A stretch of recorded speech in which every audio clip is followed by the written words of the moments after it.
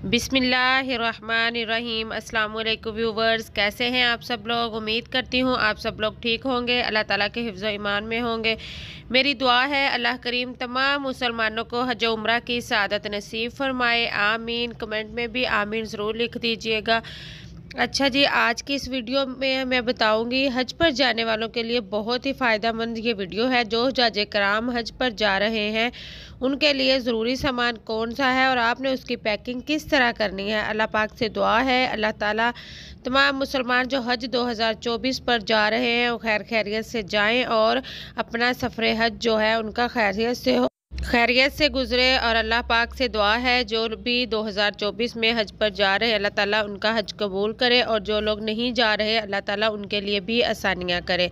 हज की तैयारी अभी से शुरू कर दें। छोटी छोटी अशिया हैं। अभी से बैग में जो हैं चीज़ें इकट्ठी करनी शुरू कर दें। छोटी छोटी अशिया होती हैं जो बहुत ही अहम होती हैं। एक लिस्ट बना लें आप। मेरी इस वीडियो में मैं आपको बताऊँगी जो चीज़ें, वो बहुत ही ज़रूरी हैं। तो वीडियो को एंड तक देखिएगा। वीडियो को लाइक कर दें ताकि लोगों को ज़्यादा से ज़्यादा मालूम पहुँच सके और चैनल को भी सब्सक्राइब कर दें। बहुत शुक्रिया। हज पर जो लोग जा रहे हैं, उनकी जो सबसे अहम और पहली चीज़ है, वो है nail cutter.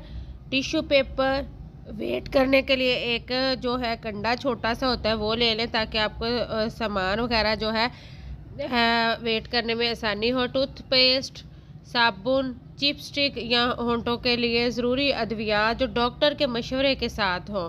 और उनकी जो डॉक्टर की पर्ची होती है, जिसके ऊपर दवाइयाँ लिखनी होती हैं, प्रेस्क्रिप्शन ज़रूर होनी चाहिए। चूड़ी, प्लास्टिक टेप, बैग कवर करने के लिए नज़र की ऐनक, बड़ा मार्कर वो बर्तन धोने के लिए कोई जाली वगैरह, नाला पोनी तो ज़रूर रखिएगा। प्लास्टिक, इन्वेल्प, दूध, मोबाइल चार्जर हज गाइड बुक अपना ज़रूर लाजमी साथ रखिएगा चंद लफाफे बोरी या रस्सी प्लास्टिक कवर बैग, पाकी razor, body spray, tea bag, तीन पिन स्विच, तीनों किस्म के थैली, जूता डालने के लिए छोटा बैग जो होता है।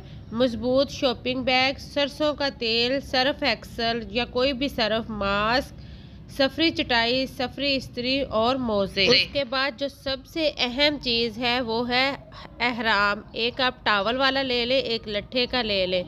दो अदद रख लें दो अदद रुमाल रखें मसवाक छोटा ताला नेल कटर टिश्यू पेपर वगैरह तो आपको बता दिया कैंची चप्पल तवाफ़ के लिए आपको आसानी जो आपको इजीली चीज़ें मिल जाएँ, जो आपके जिसम को सुकून में रखें, वो चीज़ें आपने लेनी है। कैंची चप्पल जो है चलने फिरने के लिए आसान होती है। तोलिया, सुई धागा, कंगा, नज़र की ऐनक छः जोड़े कपड़े, बर्तन, प्लेट, ग्लास, पानी वाली बोतल, सेफ्टी पिन, शीशा।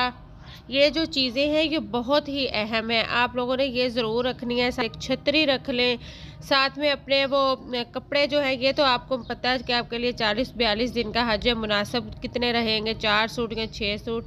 बाकी वहाँ पर सहूलतें होती हैं धोने के लिए कपड़े तो आप लोगों को परेशानी नहीं होगी। जो, जितने भी कपड़े रख लें तो आप फिर धो सकते हैं, उन्हें वाश कर सकते हैं। इसके अलावा ये जो चीज़ें हैं, केटल है, हो गई एक केटल वहाँ पर भी आपको मिलेगी, हर एक कमरे में होगी, लेकिन अगर आपके लिए आसानी है कि आपके पास है तो आप वो भी रख लें। छोटी छोटी जो चीज़ें मैंने आपको बताई हैं, ये आपने लाजमन रखनी है। हज के दौरान आपको इन चीज़ों की ज़रूरत पड़ेगी। एक छोटी कैंची जो होती है, वो औरतों के लिए लाजमी ज़रूरी होती है, और नेल कटर कैंची, लोहे का कोई भी औज़ार हो, वो आपने अपने हैंड कैरी बैग में नहीं रखना। उसे आपने जो है, आपका लगेज है, उसमें रखना है। हैंड कैरी में अगर हुआ तो वो लोग निकाल देंगे। कोई भी ऐसी चीज़ जो असला कहलाए, वो चीज़ आपने नहीं रखनी। यानी ऐसी चीज़ जिससे किसी दूसरे शख्स को नुकसान पहुँचा सकें हम तो वो ऐसी चीज़ों को नहीं ले जाने देंगे, वो रख लेंगे। ऐसी चीज़ें आपने नहीं रखनी, इन चीज़ों का एहतियात करना है। इसके अलावा अगर कोई नई चीज़ जो आपके जहन में हो तो आप वो रख लें। अल्लाह ताला आप सबका हामी नासिर। जो लोग भी हज उम्र पर जाएँ, मेरे और मेरी फैमिली को अपनी दुआ में ज़रूर याद रखिएगा। मिलते हैं किसी नई वीडियो में नई मालूम के साथ तब तक के लिए दीजिए इजाज़त। दुआओं में याद रखिएगा। चैनल को सब्सक्राइब करना और वीडियो को लाइक करना मत भूलिएगा। अल्लाह हाफिज़।